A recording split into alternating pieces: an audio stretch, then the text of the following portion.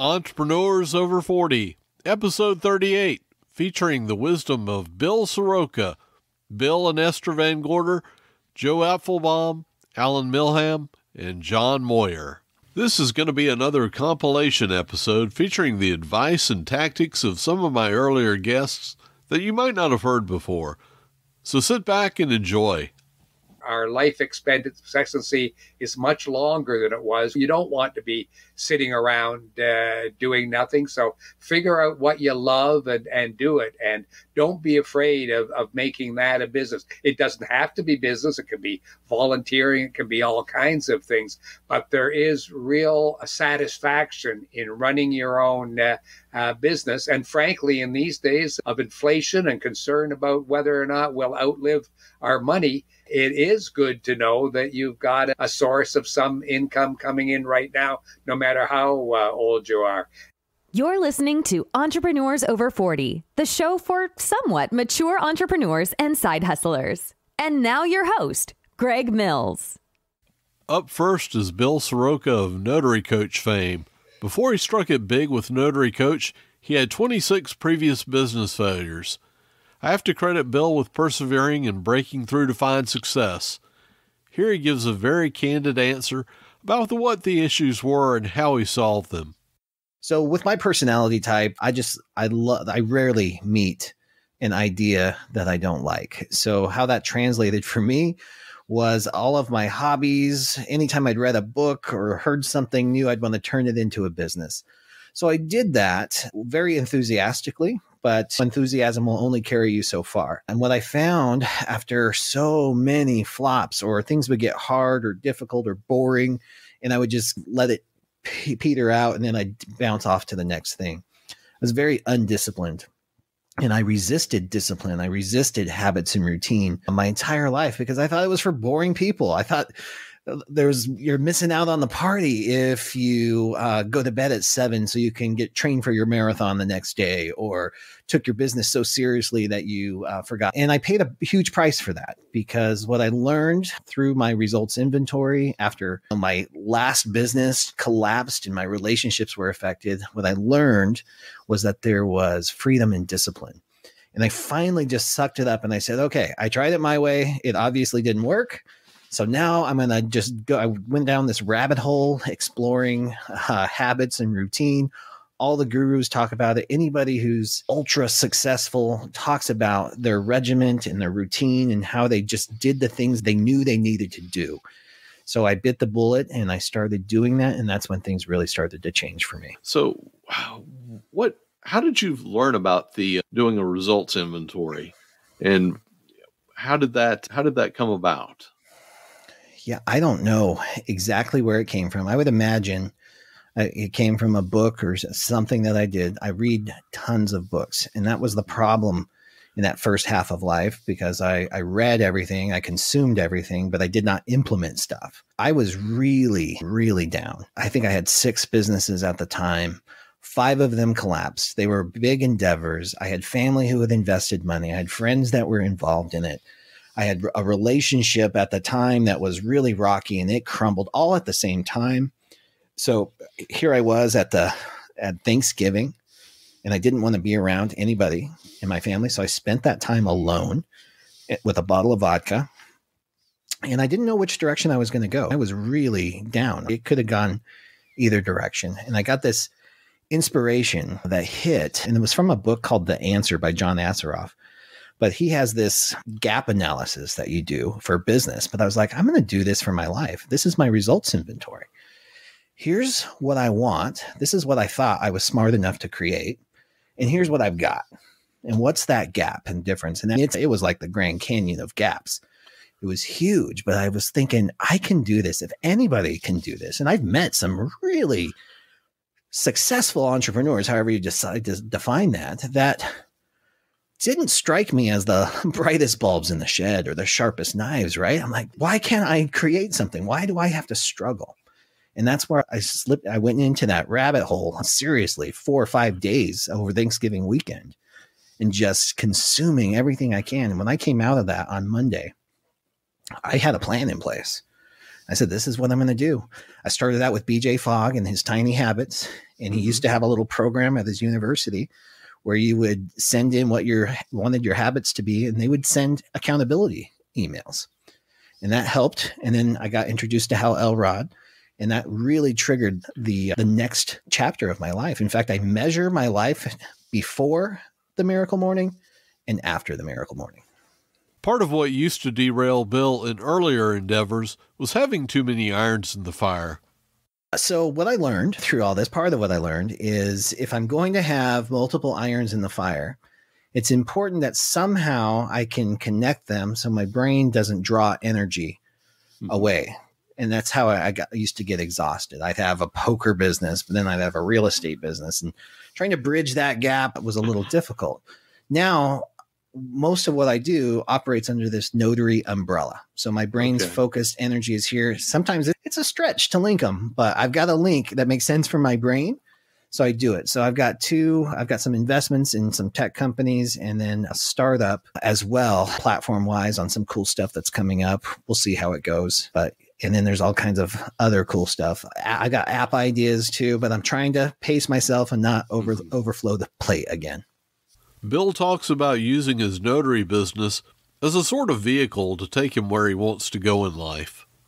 Yeah, the best piece of advice I would offer is not to necessarily has less to do about the vehicle you do it in and more about where and why you're going. So I am very clear about the impact I want to make on the world. I want to be a beacon of love and light. I want to inspire people to get up off the couch of life and pursue their dreams because I know it's possible. I want to do that. I just happen to be in a notary car right now, like the notary vehicle. Then right. that's how I do it. That's my mas- my business is my masterpiece. It's how I create for the world right now. It's how I feel good about it. And I think that's why I've become so passionate about working in this industry because it fuels my legacy, my my ultimate goals. And I think the reality is you can probably find that in anything with the right mindset, the right attitude about it. I just got fortunate to one that gives me that freedom and the flexibility on that. My next guests are a married couple from Nova Scotia, Canada. Both Bill and Esther VanGorder had retired from their corporate jobs but decided to open up a business revolving around Nordic walking. Now, can you describe the, the Nordic walking itself for our for our listeners? Well, Nordic walking was originally invented in Finland by the National Cross Country Ski Team as summer training for their elite athletes.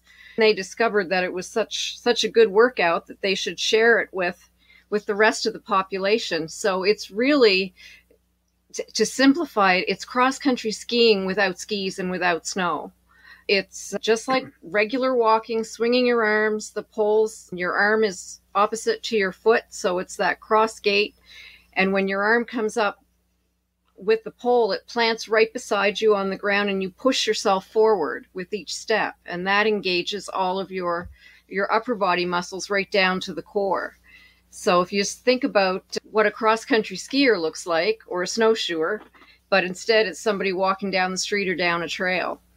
Of course, the beauty of it is is walking up hills, for instance, is much easier. One of the interesting things about Nordic walking is what the researchers call the perception of exertion, the how hard you think you're working, uh, because you're spreading the work out over so many muscles, it it doesn't feel like you're working as as hard. So people find it easier to walk, and especially easier to get up uh, hills. When we uh, uh so I think one of the things that attracted us to us uh, was it's something we could do together. So that uh, whether we were out teaching classes or in the house working, it was something that we could could do and enjoyed, and something we were both personally interested in. I guess isn't that the secret to any kind of job, especially a job that you choose to do when you get a little bit older. That is, it's really got to be something you believe in and that you do yourself. Both of us, we walk almost every day, five or six days a week, first thing in the morning. Um, Esther, of course, being the the young one of the team. I go out for about 45 minutes to an hour. She goes out an hour to an hour and a half every day. So we practice what we preach. So, what will one do if they wanted to start a Nordic walking fitness company in their city? Do y'all offer any franchising or? Yeah, we could arrange uh, that. We would work with them and work with Greg, who has Nordics Canada, and get them set up and get them uh, going. And it's not an expensive investment for people who want to get into it. In fact, the investment that a person makes is is covered by the their retail income from the poles that they originally get. So there's no upfront or annual fees. Once you're involved in doing it and you're properly trained to do it, then uh, then you buy the the poles at wholesale and sell them at uh, retail, and that's where your your cut your points are in in it. So yes, we'd we'd be happy to talk to anyone who's interested in pursuing it further. So, what's the number one piece of advice that you can give for our listeners? The number one piece of advice I think is especially for older people, people who are at that what we used to call retirement age, but nobody can afford to retire anymore. It is a, an age that Bismarck set at one time for nefarious uh, reasons back in a time when people didn't live much beyond 65. So he set 65 as the date to get rid of some of his generals and have them retire. But when you reach that uh, age, it's not the end. In North America, we're living a year longer in every decade. So, you know, our, our life expectancy is much longer than it was. You don't want to be sitting around uh, doing nothing. So figure out what you love and, and do it. And don't be afraid of, of making that a business. It doesn't have to be business. It can be volunteering. It can be all kinds of things. But there is real satisfaction in running your own uh, uh, business. And frankly, in these days of inflation and concern about whether or not we'll outlive our money, it is good to know that you've got a source of some income coming in right now, no matter how uh, old you are. There are lots of organizations who are there to uh, support you and help you uh, learn the new things you have to do to run your own business. Up next is Joe Apfelbaum, the CEO of Ajax Union, one of the fastest growing digital marketing agencies out there. Joe is a business strategist, marketing expert, LinkedIn guru, author, and certified Google trainer. Here he talks about how networking is a skill that we can develop. Networking, I think, is, is a skill, just like any other skill, but most people are afraid of networking. And let me tell you why. My friend Jeff Goldberg, he's a sales trainer. He always says people do things for reasons. They do things for reasons. And in order to figure out what the reasons is, the why behind why people are doing things, you have to really build build a network of people that will trust you to tell you their reasons. But building a network of people that will trust you to tell you their reasons is a scary thing because my friend Michael Goldberg, who wrote a book called Knockout Networking, he says that public speaking is something that most people are afraid of. 90% of people are afraid of public speaking. I think Jerry Seinfeld said that people would rather be in the casket than giving the eulogy. They're, they're really afraid of getting in front of a crowd or even five to 10 people. And networking is kind of like that. You're getting out of your comfort zone. People are judging you. And most people, even people that say they're not afraid of it, they are afraid of it. They're shaking when somebody asks them what they do for a living. And I was one of those people. I was afraid of public speaking. I was afraid of networking. And so, really, like honing in that level of confidence, Nathaniel Branden in his book, The Six Pillars of Self Esteem, wrote about there's actually a process to gain more self esteem. And so, relationships I think the skill of relationships, if you really want to be good at having a relationship with other people, you first have to be good at having a relationship with yourself and really getting to know yourself and have confidence in your own abilities. And you, I remember when I signed up to Facebook, I used to be afraid of Facebook. So when I signed up, they asked you about me and like, what are your hobbies? I would be like, I don't have hobbies. I don't know anything about me. Like, who am I? And I had that level of self confidence, a really, really low level of self confidence. And so for me, I would have to take a step back and really ask myself, who am I? So I became really good at who am I? And that helped me with networking and relationships. Does that make sense? How would you advise someone that's starting out in, in business what to focus on?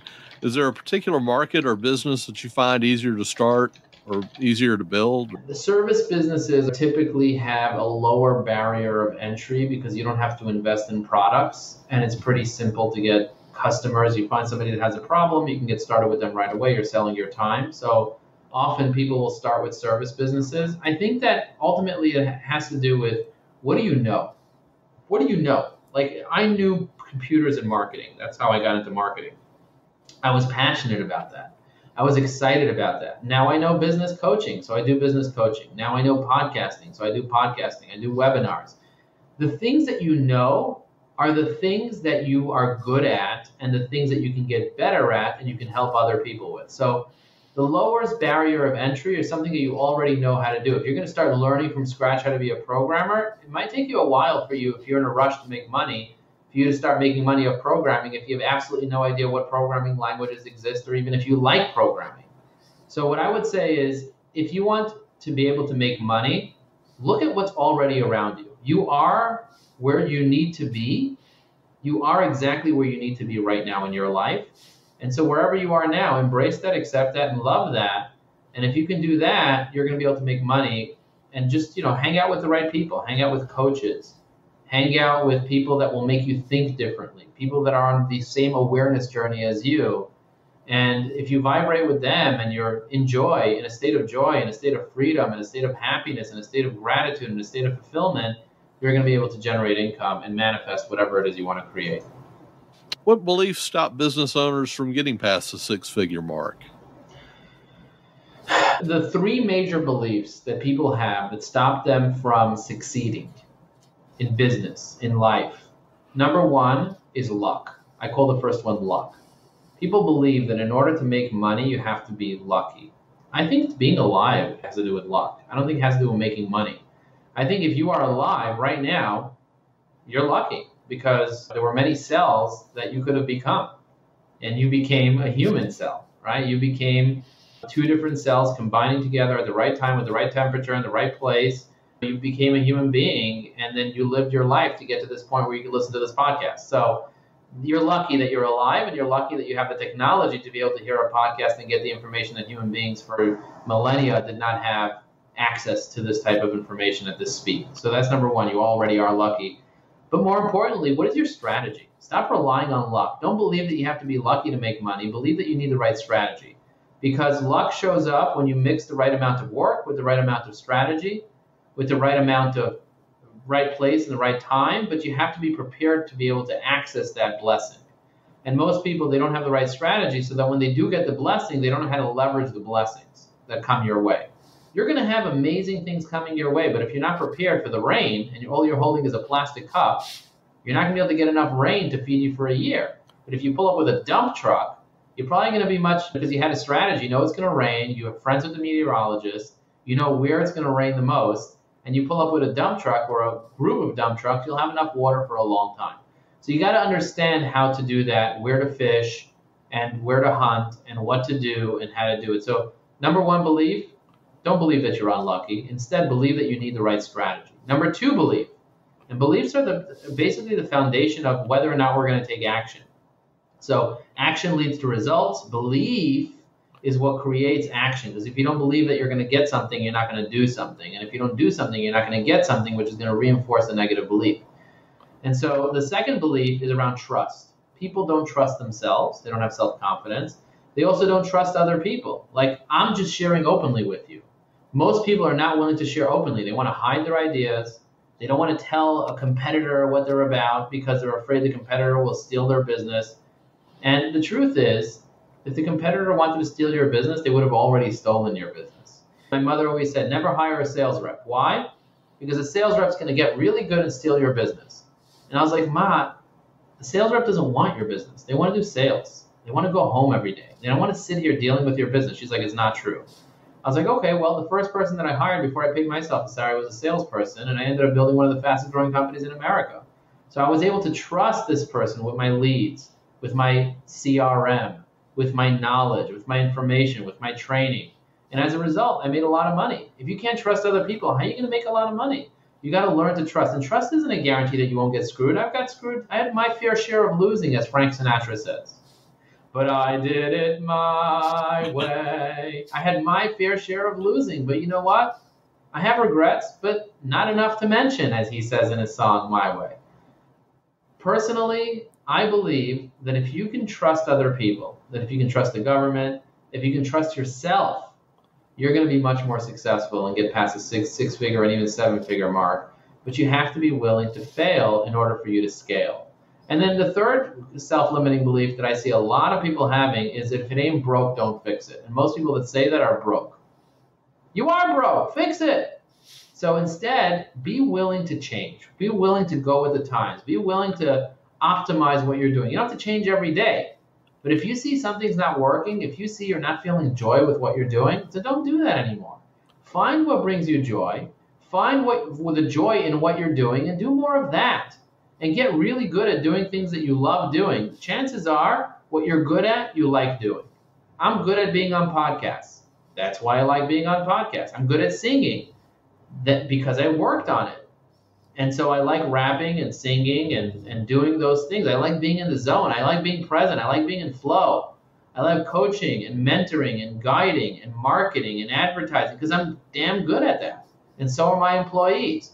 And so if what what you do brings you joy, you will do more of it, and the more you do, the more results you get. And so the three self-limiting beliefs are number one, I have to be lucky. Number two, don't trust anybody. And number three is I want to stay in the same state. I don't want to change. I want to do what was done before. What, what worked yesterday is not going to work today. And what works today is for sure not going to work tomorrow when things change and there are electric cars and flying people. So you got to change with the times and you got to acknowledge that you are a human being and you have plasticity in your mind and your brain. So optimize your cells and infuse more joy and gratitude, and you're going to be able to manifest anything you want. Going back to starting a business, how do you generate leads online that turn into clients?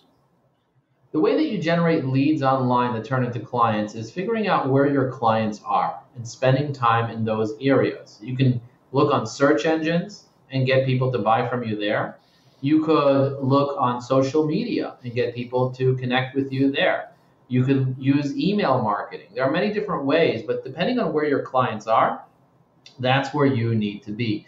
And you need to be speaking in their language. That's why you need the right strategy to figure out who your client is and based on who they are, you can determine what type of language they speak. What are their pains? What are their goals? What are their fears? What are their dreams?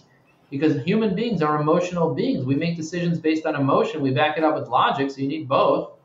But because we're, we're emotional human beings, we got to be resonated with. We got to resonate with our audience. And so LinkedIn's a great place to find CEOs, professionals, decision makers to network with and turn into clients so if you're not using LinkedIn today and you're a business to business or you are a business to consumer but with a high lifetime value type of client, a valuable client, LinkedIn is a very big missed opportunity. And if you want to learn how to use LinkedIn, we've developed an incredible course and coaching program.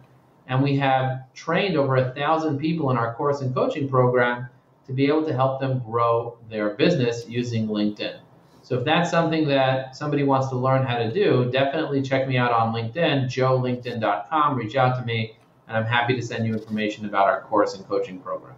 What is the best way to leverage LinkedIn to build real relationships?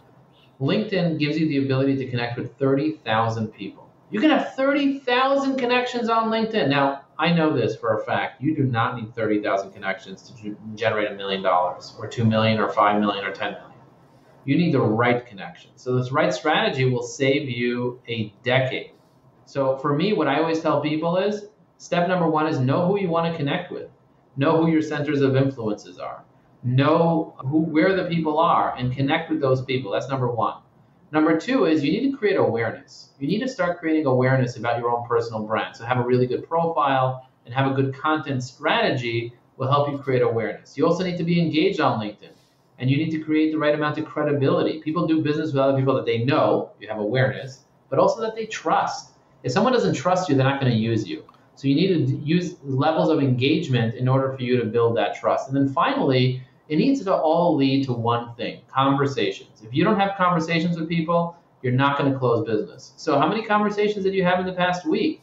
So, we teach people how to use direct messaging to generate conversations on LinkedIn you mentioned LinkedIn and going back to that. Why should an entrepreneur update LinkedIn every day? The reason you should be on LinkedIn every day is because that's where your customers are. And if you want to create more awareness for yourself, you need to start posting on LinkedIn. There are 756 million people on LinkedIn, but there's only a million posts going up on LinkedIn each day. That means there's a lot of people on LinkedIn, 40% are logging in daily, And so you want to make sure that you're there when your clients and potential clients arrive. And most people are don't know what to post. I just posted an article on LinkedIn, and you can put this in the show notes. The article that I posted is entitled 19 types of posts to post on LinkedIn. And then I broke down every type of post and I gave examples for every post. So, you know, if you need ideas, I have plenty of ideas for you. The key is for you to take action. I was just going to ask you about the different types of posts too. It seems like you either see something advertising a new product or a motivational story. Some of those motivational quotes are kind of pithy how effective are they at keeping somebody forefront of mind? Most people are not posting at all. So even if you just post a motivational quote, at least you're staying top of mind, especially if you have a good profile, good photo, good name, good headline, because that's what people see when you post. So you want to remind people that you exist, stay top of mind. You shouldn't only put inspirational quotes or inspirational messages. One of the things that we teach our students is tell your story. People want to get to know you, Greg. So what's your story? What's your story? And so I have lots of different stories about growing up in my mother's store, in my business, with clients, turning down million dollar opportunities because they don't align with my core values. I have lots of stories to share, and so does everybody else. Stories of failure, stories of successes, stories of challenges, stories of wins, stories of people that you've met, questions that you've had, tips. There's so many things that you can do with in terms of content. The key is for you to take a step back and ask yourself, what does my audience want to hear? If you have an audience that loves motivational quotes, share motivational quotes. If you have an audience that are more IT engineers, then maybe you won't want to do motivational quotes and maybe you want to do how to's and tips and tricks and hacks.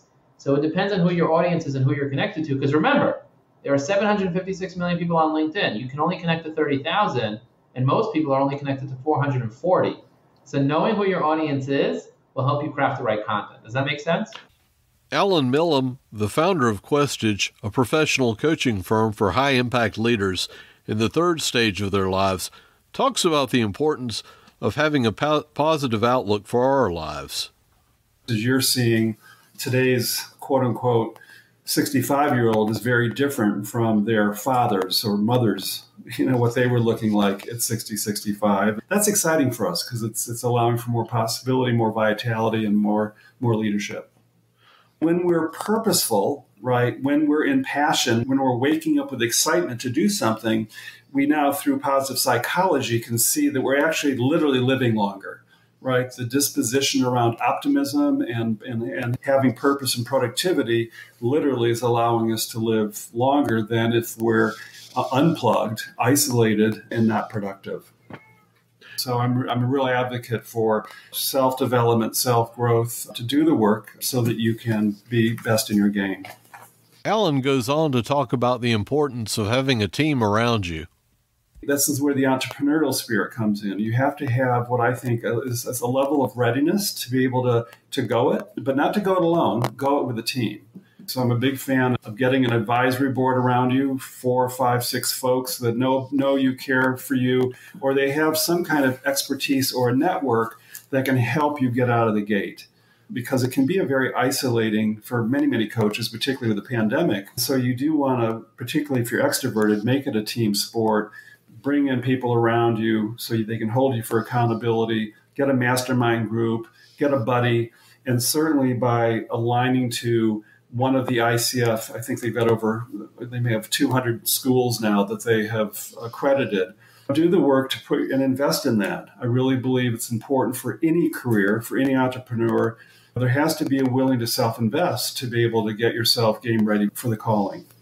You talked about the Enneagram a little bit. Can you go yes. into that a little bit more for our listeners and how that could be used to help an entrepreneur. With my background in psychology, I've always been fascinated by assessment, right? If we can have a tool to help peel back and understand who we are, how we make decisions, how we get energized, how we organize ourselves to the world, how we get motivated, you know, why not? There are wonderful personality assessments out there that I've used over the years. I've been a student of the Enneagram for 25 years. I've, I've known it, but my challenge was there was never an accurate questionnaire. The lot of the assessments are open for error because they're not tight. And when I discovered the integrative Enneagram out of Cape Town, South Africa, this Dirk Cloete, the, the genius behind this questionnaire, just did something that's never been done before in the world. And to have this process to go through, and there's a way to, to know how honest someone is when they take it, how consistent they were, and we measure the time it took.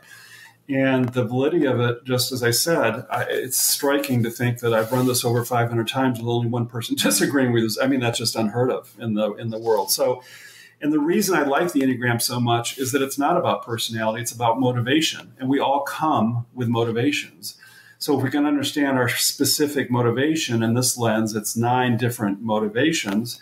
It's a very holistic tool it's more than you just being one thing, it's your multiple things. It is a profound tool to use in entrepreneurial environments and with teams so that we can really understand who's who, so that we can leverage our strengths, right? We can take those natural core motivations and the strengths that come with it to be able to really create high performance, whether it's in an entrepreneurial business or in a in a team environment and in, in a corporation.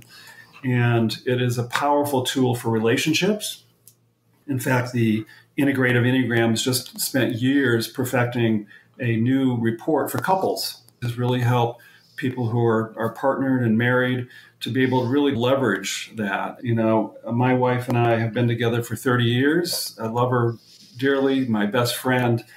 It's that that one tool was so helpful for us because we, we can step at each other, right? And and understand, oh, that's what you're doing. Got it right without making wrong and so so it's it's got great application whether it's individual growth whether it's for looking at leadership whether it's looking for teams and how we engage in conflict right how we make decisions i'm a big advocate of that because it really opens eyes it's a new tool which is amazing the irony is we can track its origins back 10,000 years. So this predates religions and philosophies. There's a lot written on that. It was actually an oral spoken tradition only up until about five decades or six decades ago. So I, I couldn't be a bigger advocate simply because of the brilliance of what it does in a very quick way and to help us in the narrative of our growth and development. John Moyer was my last guest on for today. John was a former comedian turned hypnotist. He initially was only po- posting his comedy videos on YouTube, but found a huge market for his hypnosis videos online. Here he is in his own words. Well, let's go to my YouTube channel. I could put this content on my YouTube channel, and if people see it on YouTube, then maybe they'll be interested. They'll go want to buy the MP3 version. What didn't occur to me was that people would use YouTube as a standalone platform for any of the kind of the hypnosis and meditation content that they wanted to do. As a result of that, my channel took off and I made my channel exclusively for hypnosis content. It wasn't for clips of my show or anything like that. It was now, it was all uh, content specifically meditation and hypnosis based. And the funny thing was, is I originally started my YouTube channel in like 2006 with like my stand up comedy videos and, you know, other goofy stuff like that.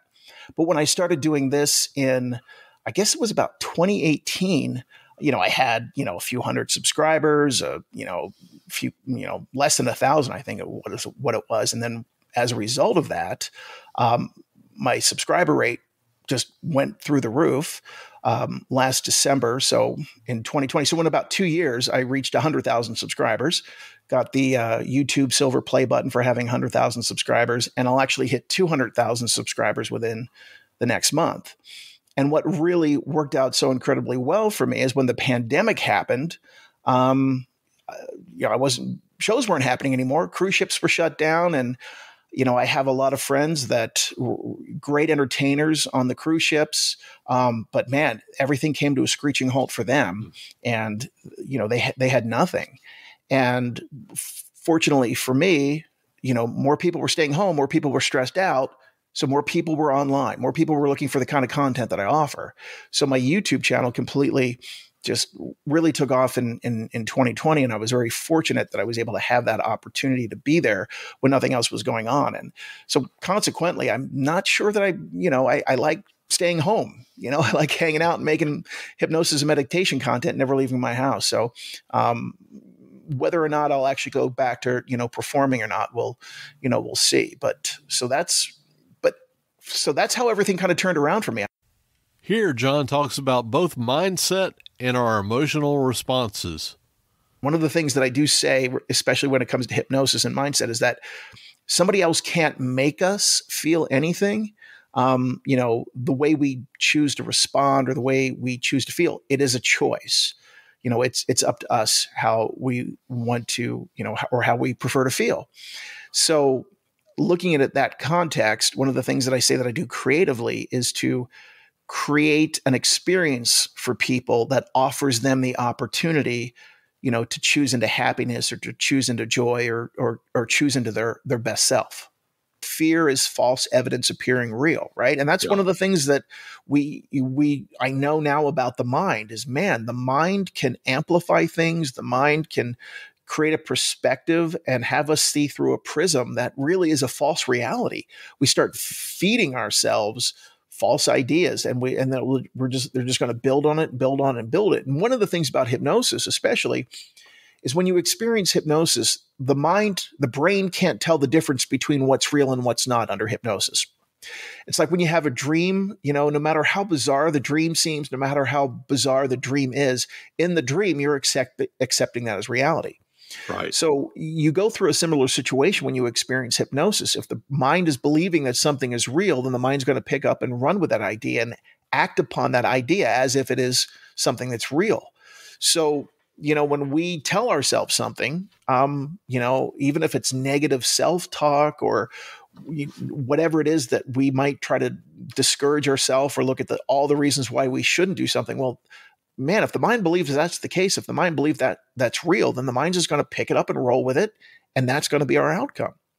I have to admit that when I went on your site, I was expecting to see a bunch of induction videos as far as you hypnotizing somebody in an audience format or yeah. on the street. And you know, I was blown away by you've got all of these some of them eight hour long videos. Yeah, yeah, and and you know my channel used to it, it, used to be more of a promotional piece for my you know to to promote my stage show. So I did I did I used to have a lot of videos on there, clips from my show, clips exactly what you're talking about, me hypnotizing somebody, and people are seeing you know the results. And there was a time that I was trying to almost have my channel almost had two purposes. You know, I had playlists of my show videos and I had playlists of my uh, hypnosis programs, the problem was is you know when you're doing YouTube, YouTube wants your channel to be very specific to an audience. And it was kind of splitting my channel, and I would put up a, a video of my show. Nobody would nobody cared nobody paid any attention to it i would put up a hypnosis video. That's what people were interested in was was the program which is why i stripped everything away from you know my channel other than what was the hypnosis and the meditation content. If you'd like to leave feedback on this episode or suggest a guest you can reach me at eo40show at gmail.com that's eo40show at gmail.com don't forget to subscribe in your favorite podcast app so that you don't miss it or any other episodes. Thank you for listening to Entrepreneurs Over 40. Check us out at entrepreneursover40.com. If you've enjoyed this podcast, please leave us a review on Apple Podcasts, Google Podcasts, or your favorite podcast directory.